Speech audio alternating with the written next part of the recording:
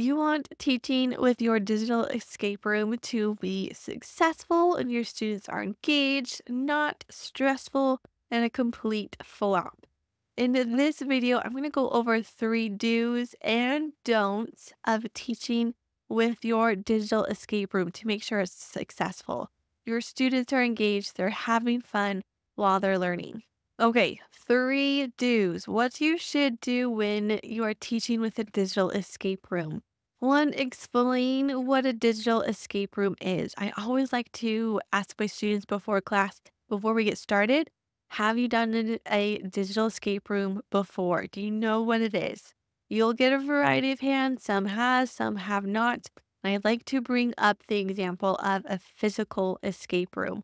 Most students are familiar with that and have done one of those. So bring that up, say it's just, it's the same thing. We're trying to escape something whatever your escape room is, and we need to work together as we are completing these clues. Number two, really dive into the story of your escape room. There's a, going to always start with the story of your escape room. Read it to your students. You get really excited about it, really into the story, and kind of paint that picture for your students. Get them into that situation where they're excited to is find out what the clues are so they can escape. And number three, give them prompts to get talking. Depending on your class, they may not or may have a relationship with each other, depending on how long they've been in your classroom. So if they are new, maybe they don't have that relationship with your with each other.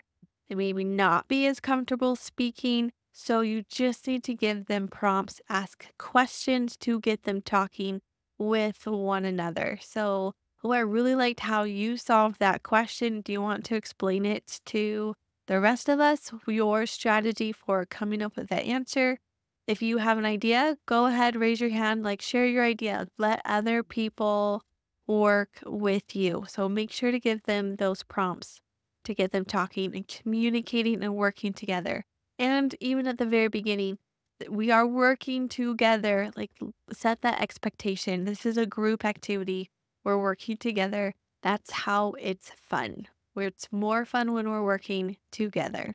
If you are interested in seeing an actual digital escape room, I do walk through one I've created, and you can check this video out on your screen on walking you through how to what it kind of looks like to go through it with your students in a live classroom. And if you're interested in creating your very own digital escape room, I am teaching a workshop. I'm so excited to teach this workshop and show you the exact steps to create your own digital escape room customized to what you're teaching, what your subject is, so we can get your students excited and your class is unique with teaching digital escape rooms.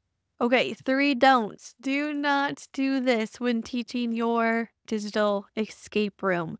Offer no support. This is not a time for you to take the back seat and say, okay, these are clues for you to solve. You need to figure it out on your own. That's the digital escape room. And then you just sit back and just have, let them have at it. You do need to offer support, whether that's with clues they're trying to solve and with what you're teaching. So offer your, especially offer that support if they need it in that teaching portion where they're answering questions, guide their thinking, reteach if necessary. Just don't completely pull back. Number two is you don't wait long enough to offer hints.